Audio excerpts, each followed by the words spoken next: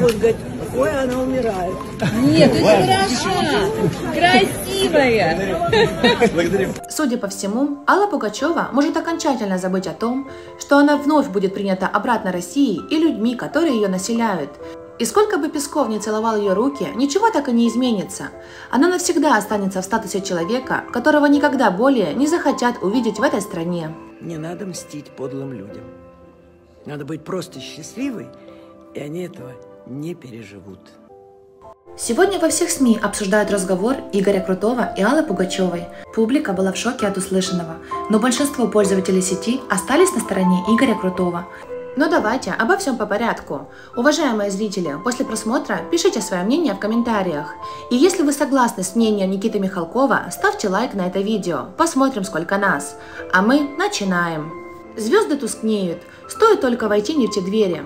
Вот Алла Пугачева в начале спецоперации могла бы поддержать армию. Что ей стоило приструнить своего говорливого муженька и сидела бы в своих сказочных грязях. Но двери скрипнули, и Пугачева сделала сознательный шаг за порог. Видимо, в какой-то момент им показалось, будто большая великая страна не сможет без них прожить, а они смогут. Но это слишком самоуверенно и, честно говоря, глупо.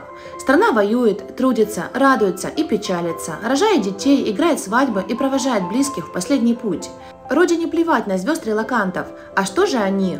После разрыва с Россией Пугачева и ее муж Максим Галкин переехали в Израиль, потом оттуда на Кипр и сейчас пытаются понять, как добиться того уровня потребления, к которому они привыкли. Это в России можно жить в замке и брать за один корпоратив по миллиону рублей. А в Израиле и Европе за выступления по прокуренным кабакам с тухлыми русофобскими шутками больших денег не заработать. Возможно, Алла Пугачева предчувствует, что скоро ей придется не только продать пресловутый грязевой замок, но и на пару с мужем давать концерты в барах. Отсюда все эти попытки королевы эстрады не просто вернуться в Россию, а как-то договориться с лояльными элитами, обкашлять вопросик, вывести с лба своего мужа иноагентское клеймо, с которым не то что в концертный зал Московского Кремля не пропустят, но и в метро, и в пятерочку. А главное, за Пугачева и Галкина никто не заступился. Не помогли наработанные годами связи. Теневые товарищи, которые остались в России, прикопав на рублевских огородах карманные фиги, разводили руками.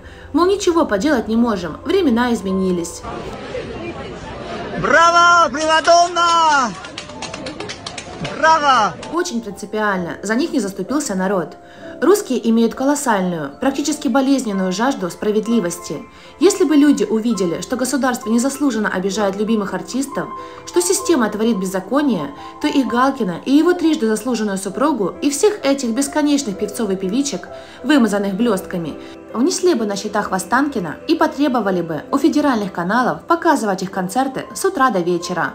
Но народ иного мнения. Пугачеву с семейством и товарищами не поддержали. Смей меня снимать, не смей.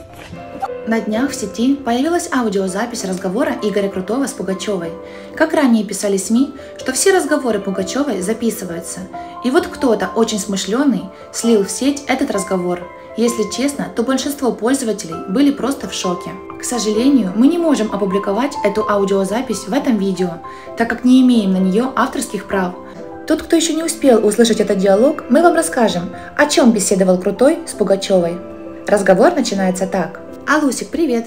«Привет, Игорек! Давно тебя не слышала, не видела. Как ты? Как семья?» – спрашивает Алла. «Я хорошо, семья тоже в порядке.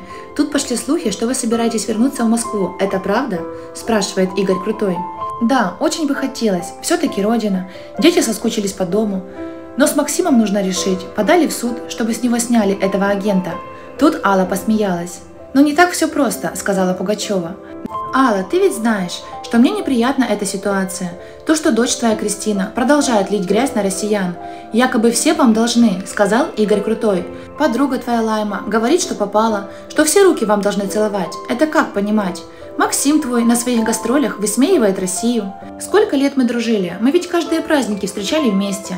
Новый год, дни рождения наших детей. Мой тебе совет – оставайтесь там, где вы есть. Не возвращайтесь, народ вам жизни не даст. Да и наши общие знакомые настроены против вас негативно. Так что, Алла, сидите там и не рыпайтесь. Мне очень неприятно все, что ваша семья говорит. Я не могу закрыть на это глаза, сказал Игорь Крутой. После этих слов Пугачева сказала, что не ожидала такого от Игоря Крутого. Она надеялась на его поддержку и бросила трубку. В сети то и дело обсуждают этот разговор. Пользователи сети считают, что Крутой правильно сказал Пугачевой, что им нечего делать на родине. Пусть сидят там, где и сидят. Проживут как-нибудь. А что думаете вы, уважаемые зрители? Пишите свое мнение в комментариях и не забывайте про лайк. До скорой встречи!